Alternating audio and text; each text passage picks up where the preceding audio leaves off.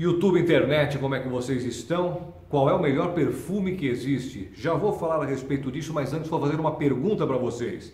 Quem gosta de exclusividade? Todo mundo, né? Ou você prefere de repente chegar num lugar e se deparar com alguém vestido igualzinho a você? Como neste exemplo. Está no ar, vai começar. Sai desse banheiro! Só não esquece de limpar. Tire as crianças da sala! Tranque o leão na jaula. Pânico. Microfone ligado. É um doidado borrado. Ouve essa merda, senão nós pode. Claro que ninguém gosta de chegar num lugar e se deparar com alguém vestido igual. Então isso é para eu aprender a calar minha boca e deixar de falar a marca das coisas, aonde compra, certo? Então agora vamos para os perfumes. Vamos falar sobre perfumes, beleza? Vamos lá. Para quem não sabe, uma grande paixão que eu tenho são os perfumes. Afinal, qual é o melhor perfume que existe? Eu não sei porque eu não senti todos, mas dos que eu senti, eu escolhi 40 mais ou menos, que estão guardados aqui no meu coração, mais especificamente dentro de uma adega de vinho a 12 graus Celsius, que perfume odeia calor e luz, e a porta da adega também é de vidro escuro. Evidentemente, esses 12 graus Celsius variam lá dentro, porque a parede traseira da adega é onde tem o resfriamento, e quanto mais longe da parede, menos frio fica, também dependendo da altura. Tem uma série de fatores, mas dentro da adega varia de 11 graus até uns 18. Nada que vai estragar o seu perfume. Outra coisa importante de se saber é que perfumes são divididos em perfumes de designer e perfumes de nicho. Perfume de designer é aquele que você vai na Sephora do shopping, pega o tester, espirra no plotter, né, na fitinha. Não façam isso, porque vai mudar quando você espirrar na pele, por causa do pH, uma série de fatores também. E outra dica, não sintam o cheiro do perfume dentro da loja, dessas lojas de perfume, principalmente, porque lá tem um bilhão de cheiros no ar, tudo misturado, e quando você for sentir o cheiro na tua pele, vai vir o cheiro do ar com os cheiros misturados de tudo que tem na loja e vai confundir o teu cérebro. Aí quando você chegar em casa, você vai sentir o cheiro do perfume que você comprou e vai falar, caralho, mudou. Então faça o possível para sentir o aroma do perfume em algum lugar neutro, certo? Certo. Perfumes de designer também são vinculados a marcas que vendem outras coisas, como bolsa, sapato, roupa, óculos, Dolce Gabbana, Chanel, Christian Dior, Prada e assim por diante. Né? E perfumes de nicho são aqueles perfumes de casas que só fazem perfume. Por isso eles são muito mais caros, porque usam materiais de melhor qualidade, ah, eles têm mais, como diria, eles fazem o perfume com mais capricho. Porém, algumas marcas de designer têm a sua linha exclusiva, como a Chanel, a Christian Dior, a Hermès. Então você vai lá na Chanel e tem a linha exclusiva, que custa muito mais caro que os perfumes ah, mais vendidos, vamos dizer assim que são mais comumente vendidos, mais conhecidos. Então a gente pode até dizer que seria uma linha nicho dentro de uma casa designer, né?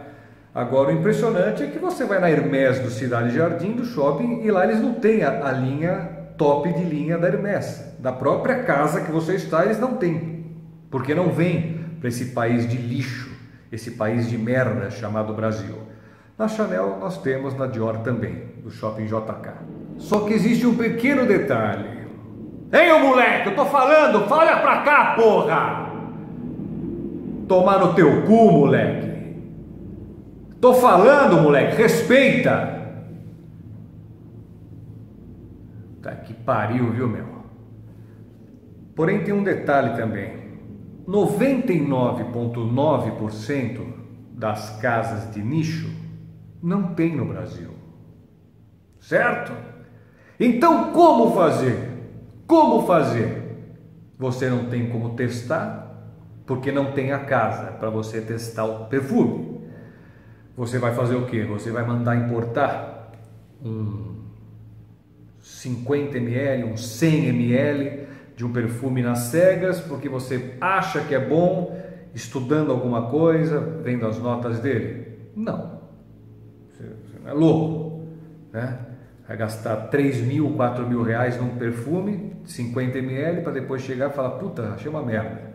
Então, o que eu faço? Eu, quando não estou nos países que sediam essas maravilhosas casas de nicho, ou então em algum país que vendem perfumes dessas casas maravilhosas de nicho, né? Estou dizendo país aí, grande parte da Europa, Estados Unidos. Os Estados Unidos tem uma, uma loja maravilhosa na Califórnia, tá? Que você encontra muita coisa sensacional. Ah, então, quando eu estou aqui no Brasil, o que, que eu faço?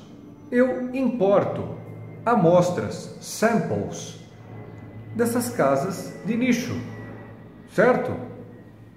Sai muito mais barato. O que, que, que eu faço? Eu leio revisões, eu assisto revisões, eu vejo as notas, eu vejo artigos a respeito da fragrância, me interesso, quero essa, quero aquela, quero aquela outra, quero aquela, aquela, aquela, aquela. E assim eu vou sentindo os cheiros. Eu digo que é barato? Tá, porque não é o preço da garrafa cheia. Porém, tem amostras aqui que tem a volumetria de meio ml, que custou 15 libras, certo? Tem também de 4 dólares, certo? Vamos dar uma olhadinha aqui. Esse balde aqui Tá cheio de ainda de amostra que, que eu não senti. Mas aqui são as amostras que eu aqui, ó. Isso aqui é o que eu senti nesses últimos dois anos. Tem muita coisa boa aqui. E, evidentemente, você vai me perguntar, porra, mas quais são dessas amostras aqui, alguns perfumes bacanas. Quais são os perfumes que estão dentro da adega? Né? Falar nisso, vou mostrar a adega. Bom, aqui está a adega, estou filmando deste ângulo, porque se eu colocar reto é capaz que apareçam os perfumes. É, mesmo a porta dessa adega sendo com vidro preto. E eu não quero que apareçam os perfumes, não porque eu sou egoísta, mas é porque eu tive um trabalho filho da puta para fazer essa pequena coleção e eu não quero dar de mão beijada. Aqui dentro deve ter uns 40 perfumes, mas não é a quantidade que interessa, é a qualidade aqui, certo? Então esta é a adega.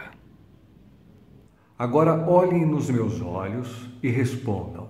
Vocês acham que eu vou falar o nome de algum perfume que está dentro dessa adega? Olhem nos meus olhos. Evidente que não, é óbvio que não. Olha o trabalho que eu tive. Olha a pesquisa que eu tive que fazer para falar, vou escolher aquela, aquela, aquela, aquela, aquela, aquela, aquela, aquela que parece ser legal. Olha o dinheiro que eu desembolsei. Né? Porque, por exemplo, não é, ah, eu vou pegar 10 amostras de 10 libras cada uma, vou gastar 100 libras. Não, porque aí depois tem mais o frete, a Receita Federal resolve tributar, aí tem mais tributo em cima do frete mais o valor declarado das amostras, o negócio não sai baratinho, né? E a mesma coisa, eu chegar aqui agora, bater o olho aqui, ó, vou pegar essa aqui. Aí, ó, essa aqui é sensacional. Tá, vou falar só esse aqui, viu? Só esse, hein? Tô brincando, não vou falar. Mas é maravilhoso.